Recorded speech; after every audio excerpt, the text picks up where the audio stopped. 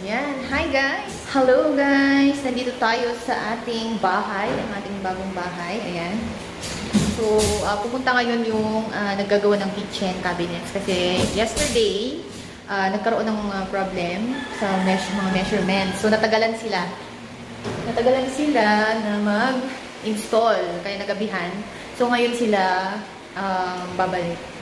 Ayan. So, ipakita ko sa inyo yung kitchen. Ayan. Ayan si Mr. So, yan yung kitchen, guys. Aluminum. Alum aluminum kitchen. Uh, cabinet.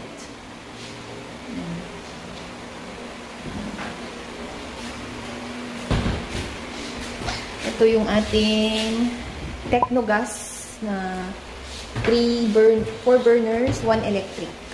3 gas, 1 electric. Ayan. So, hindi pa nalilinis, guys.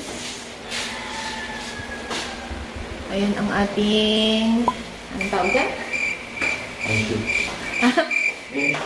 Range hood. Ano ba yan? Technogas. Ayan. Hindi na namin pinalagyan ng cabinet. So, yan. Ito naman yung sink. Ayan, madumi pa guys. Hindi pa kami naglilinis. Kasi may mga ginagawa pa. Ayan, granite countertop. Indian black granite countertop. Tapos ito, ano na to? Ceramic to, no? For, or ano? Ceramic ba to? Porcelain? Porcelain, porcelain na tiles. Ayan. Ano siya? 60 by 60. Yung pinalagay namin dyan. Ito din, ceramic din ata to or porcelain. Ito naman sa mariwasa. Itong white. Mariwasa to. Ayan. So, meron din kaming um, binili namin inverter na para tipid sa kuryente. and Panasonic na uh, top load na washing machine. Ayan. Ayoko kasi yung ano, yung front load. Medyo mahirap mag ano, mag-bend-bend. 8.5 kilograms active foam system. Japan technology na siya. Marami siyang mga features. So, i ano natin next time to. I-review natin. Ayan. May stain master. Inverter. Ayan. Nakalagay inverter. So, yan.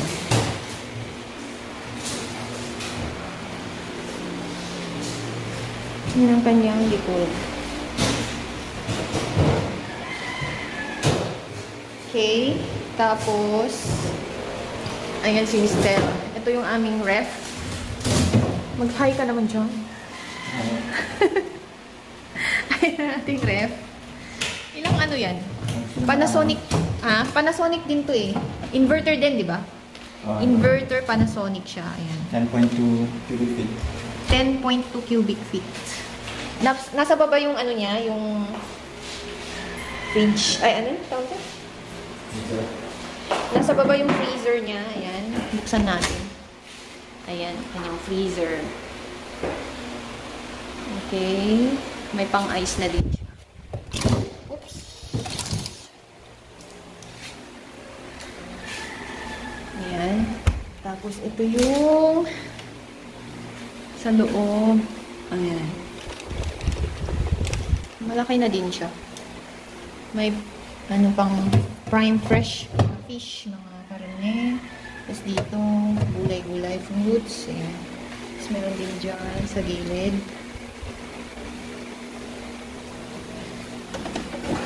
Try namin i-on kung lalamig siya agad.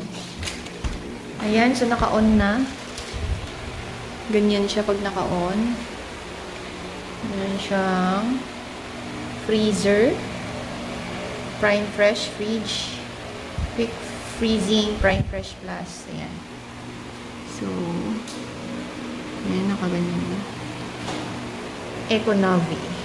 Inverter. Inverter Panasonic. Ayan, may ilaw na. Tapos dito, wala siyang ilaw. Wala pala siyang ilaw sa freezer.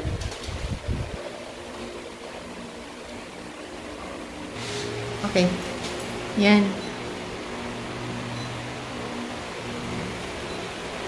Sige.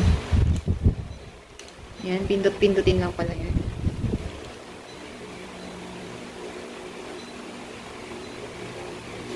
Max natin lahat. Sa volume, no? Napipindot. Yung quick freeze freezing. Hindi, hindi napipindot yan. Pag pinindot mo ng freezer, Ah, okay. mapipili mo yung freezing. Pag pinindot mo ng freezer, mapipili mo yung cartridge plus. Okay.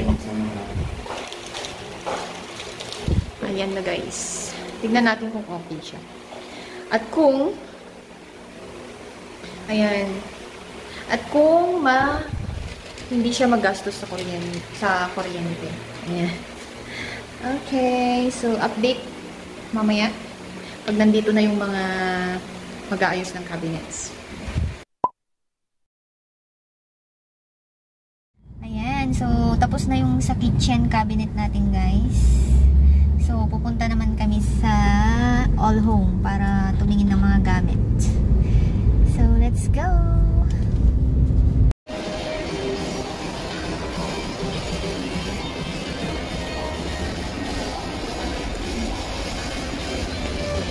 Ito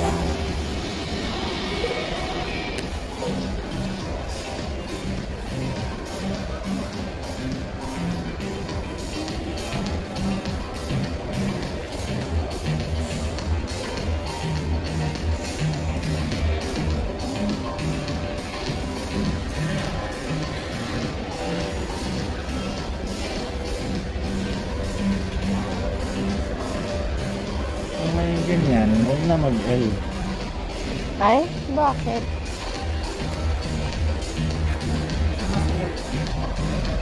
Di ba, yung, halimbawa, kaya, meron dito. Ano pa lang ito? 35,000. Pang outdoor lang. 35,000. Nanakain lang yan.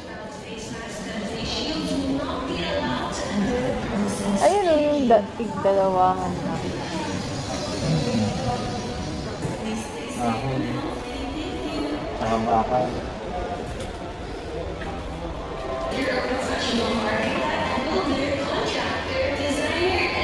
Ano, maganda?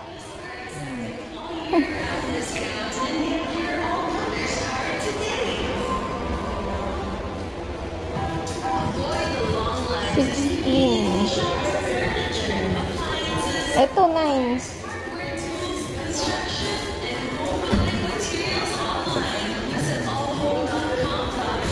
Ito, 9,000 lang. Ba't ang ang laki Gusto mo ng... talaga nagsising?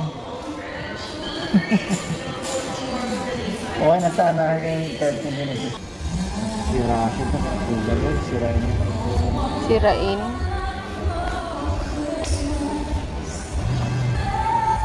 Yan nga sinasabi ko mahal. Ah. Pang ano lang na. Pang labas. Mga kasi nakawal naman.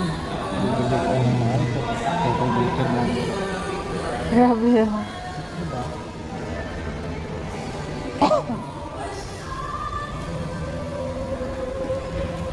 Nineteen thousand.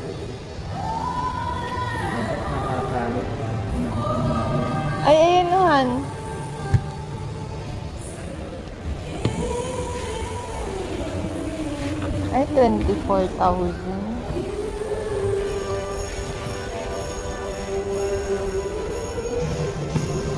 Kaya na. Pwede na ito pang sala. Mm-mm. Cozy.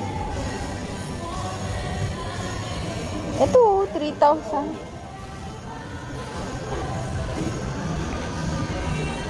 Request to customer service. 463 to customer service, please. Maganda to. Magkano? Kaya to.